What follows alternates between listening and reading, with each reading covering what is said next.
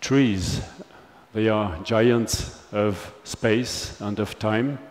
The highest trees are more than 120 meters high, and the oldest ones are older than 5,000 uh, years. I would just like to start with this uh, view of this uh, impressive tree with uh, a thought uh, for the wonder, beauty, and majesty of the trees to take the citation of Rachel, Rahel uh, Carson in our conference journal. The trees are perhaps the strangest uh, beings we can find on earth, and they have much to do with our inner constitution. They are like uh, premonitions of what man is and what man should be. And they will help us, I think, to understand where the signals of life are coming from. We are, were speaking of that yesterday, and some uh, aspect or results of uh, research on trees uh, will open, uh, I think, interesting um, windows. Forests and trees, they are interfaces of exchanges. The four elements are uh, meeting here through the trees. And in fact, we should not only uh, think uh, and research in terms of trees, but also in terms of forests, which are a kind of organism uh, of a higher order. And trees and forests are essential for the development of life on Earth. They are much more essential than is usually um, admitted.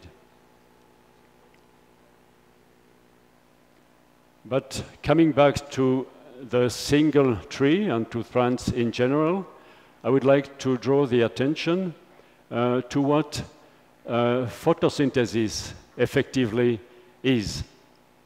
Usually, uh, it is considered that we have three uh, inputs uh, for photosynthesis.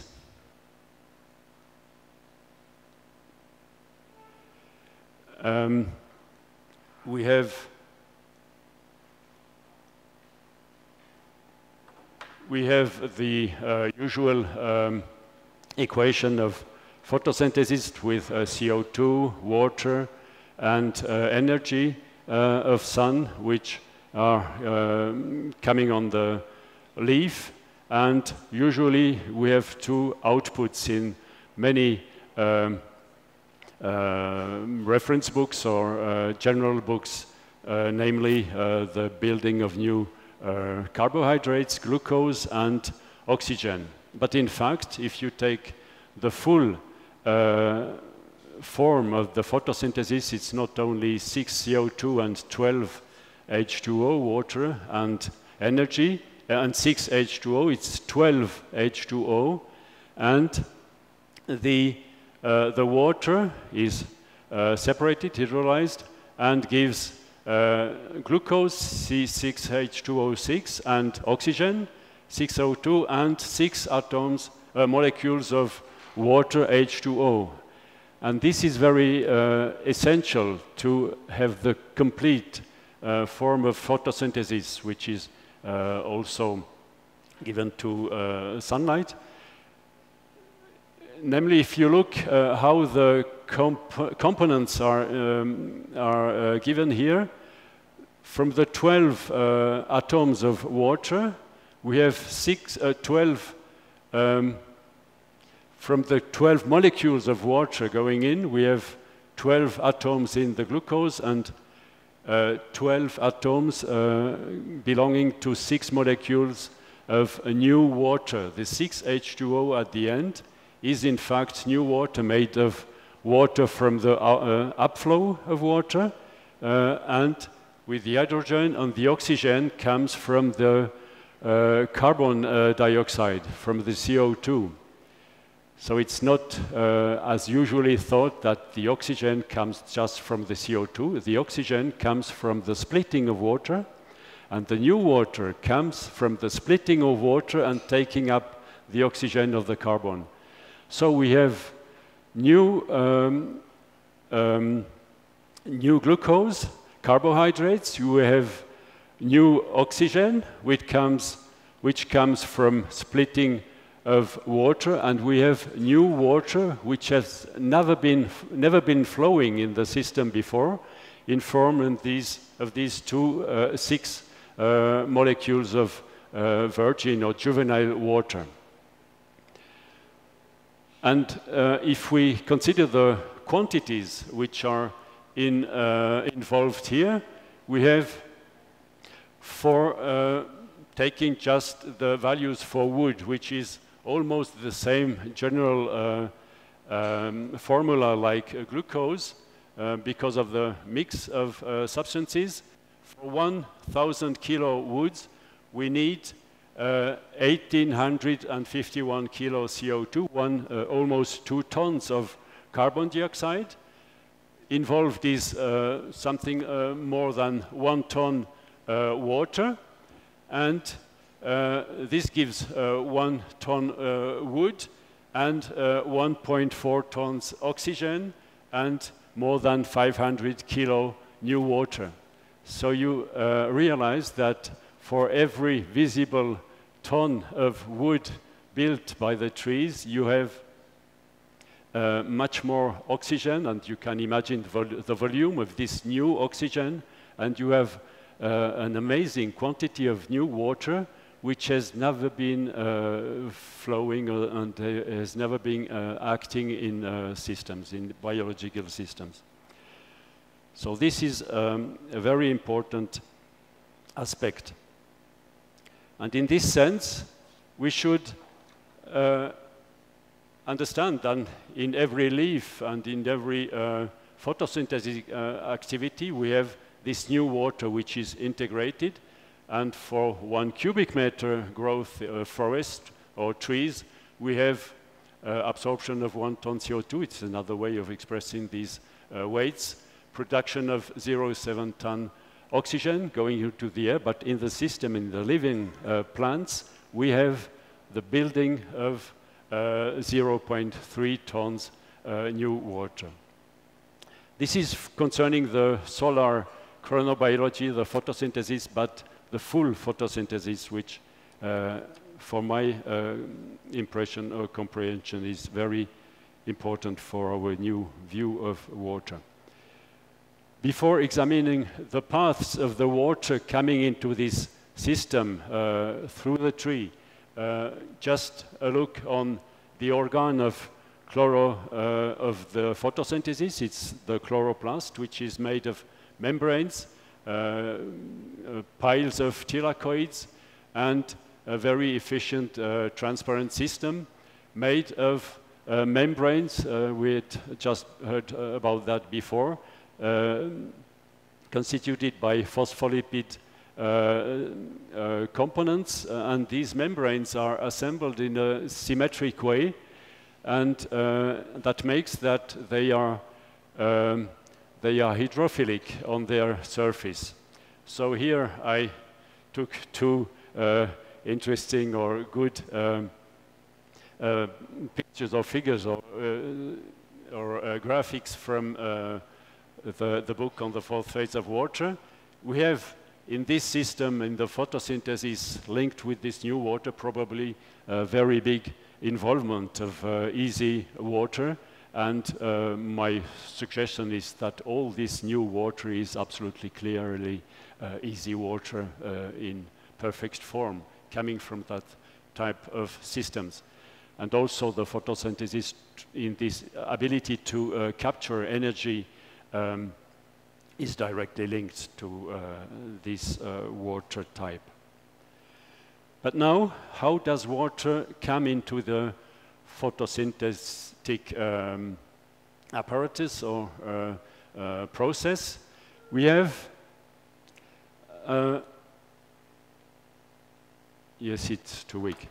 We have uh, a tree uh, stem uh, figure with the layers of the tree. Under the, the bark, you have the cambium, the building element, and inside you have the building of wood. And the water is flowing through the outer wood, which is called sapwood, the number two of this figure on the left down, and it is aspirated into, into the crown. It's not a pump.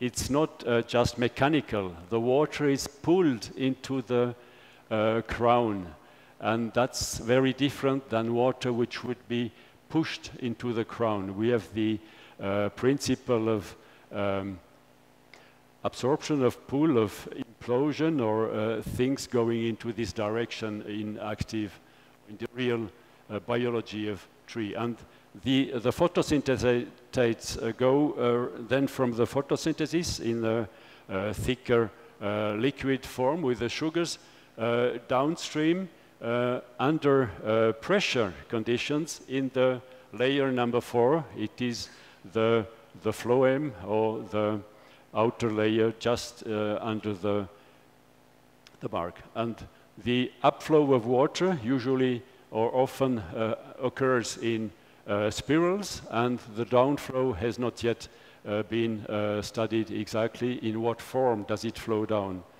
But we already know that it goes up in, uh, in a, um, a, spiral or vor vortex way. So at the center we have a model of, uh, of the wood uh, for a pine tree. Uh, and in fact, I would just show uh, the water flow up, uh, up into the crown occurs through cells called uh, tracheids and all these cells are individually uh, closed uh, and they have just opening on the sides on the sides called um, uh, pit apertures and just to have magnification a microscopical magnification here we have the view of such tracheids which must be imagined as closed system, but here with the cut uh, for the microscope, we have a view inside. We have the cell wall and these apertures, and the water always goes from one cell into the other one through these openings, which is like a valve, uh, like a control system. Ah, thank you. All right. Like uh, through these valves.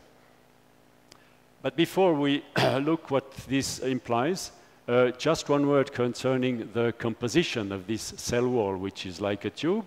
Um, and uh, the tree would have been uh, absolutely uh, able to make hydrophobic canalization for the water conduction into the crown. Uh, if you look uh, how needles are made on their surface, it's hydrophobic, it's waxes and uh, it's no problem for trees to make waxes. And they don't put waxes into their uh, vessels, into their tracheids. They make absolutely uh, at the highest uh, possible level, um, but with differences, uh, hydrophilic uh, systems for water conduction, which is absolutely paradoxical because why do the trees conduct their water with hydrophilic systems uh, if they could uh, lose no water, making them uh, hydrophobic. But it's hydrophilic because the cell wall is made of cellulose and mixed with lignin, hemicelluloses. Uh, the quantities are depending on the place in the depth of the cell wall, but uh, globally the cell wall is very hydrophilic and uh, is impregnated with water completely. And this um, cell wall, uh, its porous system, uh, contains absolute, uh, clearly um, EZ uh, water, but as we are knowing now that uh, the yeah,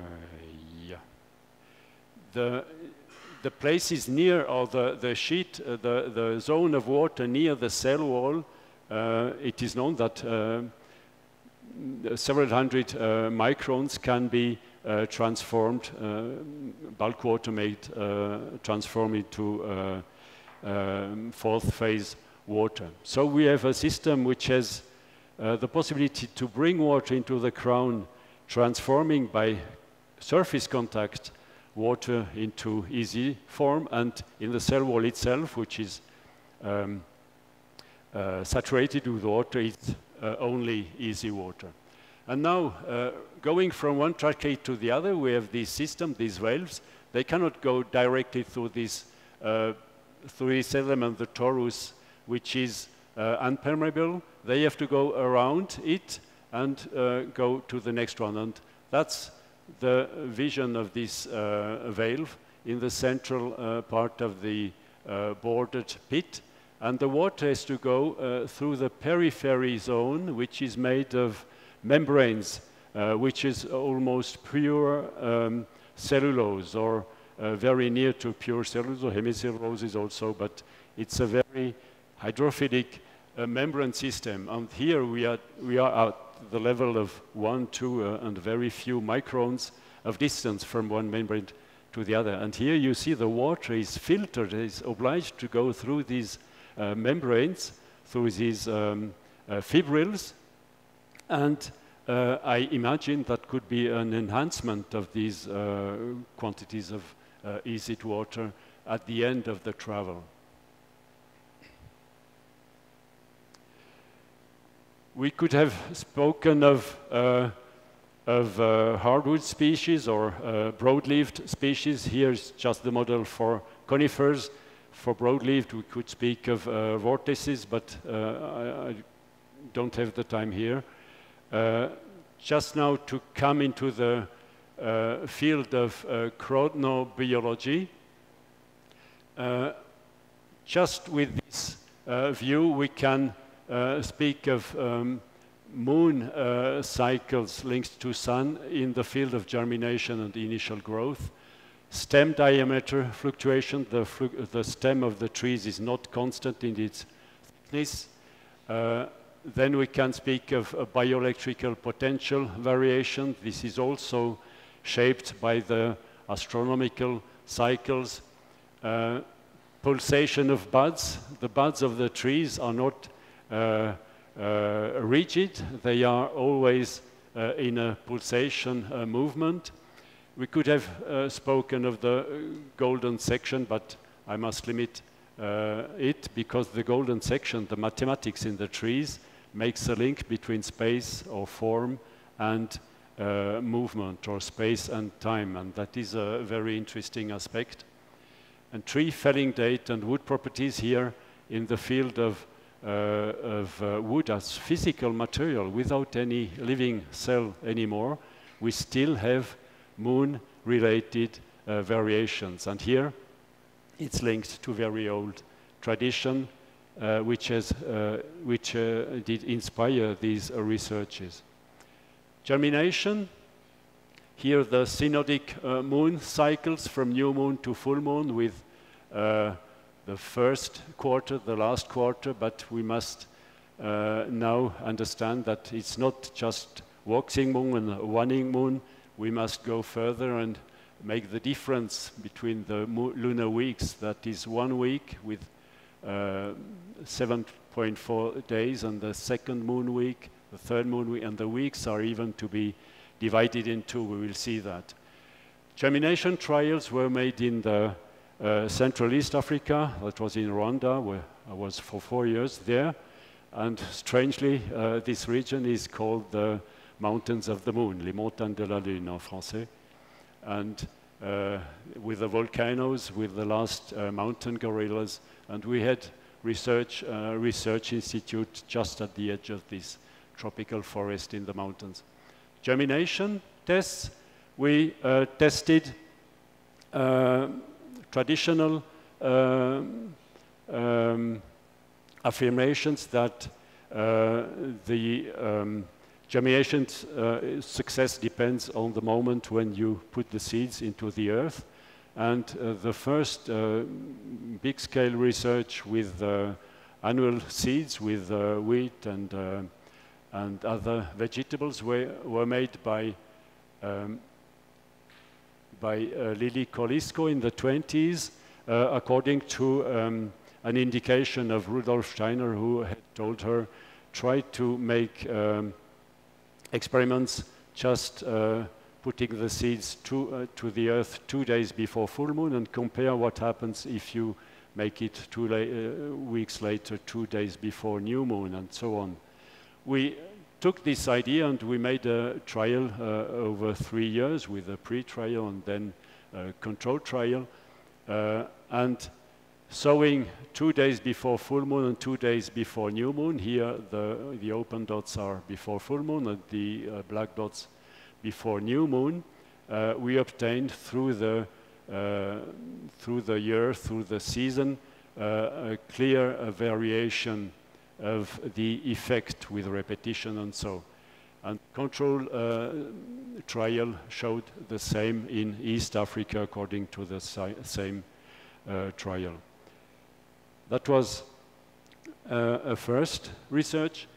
Now very interesting for all of us which are working with water is to uh, to test the question, uh, is the water always the same? And now there is a very interesting research which has uh, been made by Frank Brown in the 70s in the United States.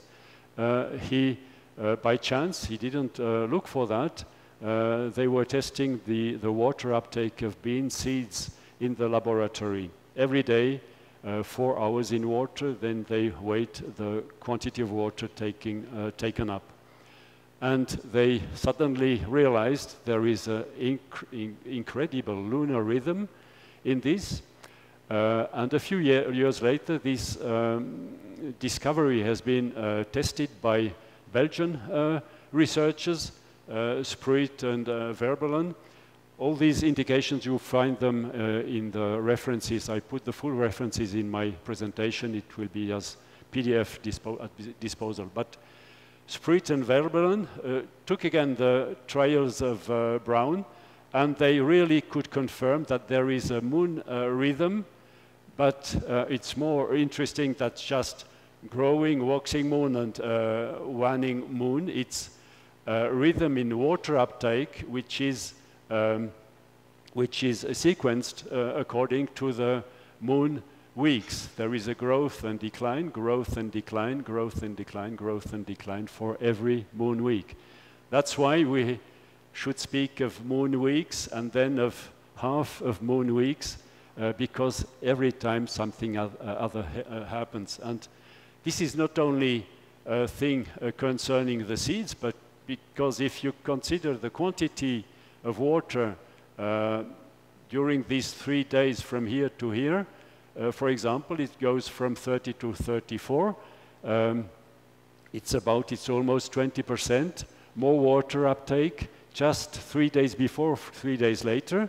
Uh, it's not only from the seeds, because the seeds are always dormant, put at the dry state uh, into the water.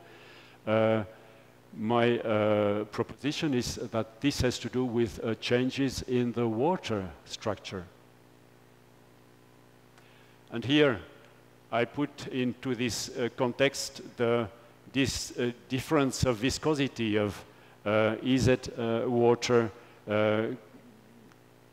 compared to control water and uh, this gives the impression that once the water is more viscous and once the water is more uh, wet uh, is more watery. Uh, and that's why the seed can take up more water or less water. And this will be then important for the, the seedling, the, the, the germination effectiveness. Another research has been uh, a very beautiful success of uh, common research with Italian researchers and French uh, researchers uh, where we could show that the stem of the trees, when they are uh, kept under controlled uh, conditions, are um, uh, pulsating. The next one concerns uh, the electrical potential of trees. Here again, it was a PhD thesis at the University Innsbruck uh, that I could accompany. And here, the values of bioelectrical potentials in the trees. It was made with um, Swiss stone pine and also with spruce outside. Uh, they were correlated with the modification of the gravity, the gravimetric tides. The red curve uh, is uh, parallel to what happens in the trees with the uh, electrical uh, potentials. What's interesting here is the blue curve. This is the curve of the atmospheric pressure. The Earth atmosphere has also her tides. Not only the water and the, the Earth uh, crust, the uh, Earth, uh, the Earth uh, system, the geology has also the same pulsation, but the atmosphere also. So you see the trees in this atmospheric system with their uh, electro uh, pulsation in phase with the gravimetry, but also in phase with the atmospheric pulsation. So we should never forget to take the atmospheric pressure in addition to gravity. And here I uh, can put that in correlation with uh, the um, uh, discovery that uh, there are energies uh, involved here uh, between these different forms of water, and they must be here uh, at stake. The next is uh, the question of the buds of the trees. We have uh, heard yesterday what these lambda factors are, the form factors, and in fact, the bud is built in the previous season in, yes, thank you, in uh, August. And then during the whole winter, the bud tries to uh, make its break, and it happens in the spring. But during the whole winter, he's trying to do that. It's a pulsation. It's like an egg uh, going into um, an ovoid form and so back, so forth. And the discovery of Lawrence Edwards, uh, making photographies, is that this uh, lambda value uh, variation is uh, clearly rhythmic, and the rhythms are linked to the position of the moon to the sun for uh, some species like cherry, but the alignment of the moon to some uh, uh, planets, Mars for oak. And suddenly we are confronted with old alchemistry uh, where the trees were linked to planets, to metals, and here with analysis of tree bud pulsation, we uh, come back to this old uh, uh, inspiration. Then the wood properties uh, as physical systems are also changing, and I show this uh, variation of that is in uh, French, but means water loss during the drying process. it's our work as wood engineers to understand how can we dry wood, how, how can we make, can we make durable wood, uh, indestructible um, for the use. Traditionally, they had a big knowledge for that, and now we have to discover it again and to confirm and to precise this old knowledge. And one thing is, for example, uh, in the drying process, how much does the tree lose water depending on the moment when you have cut the tree?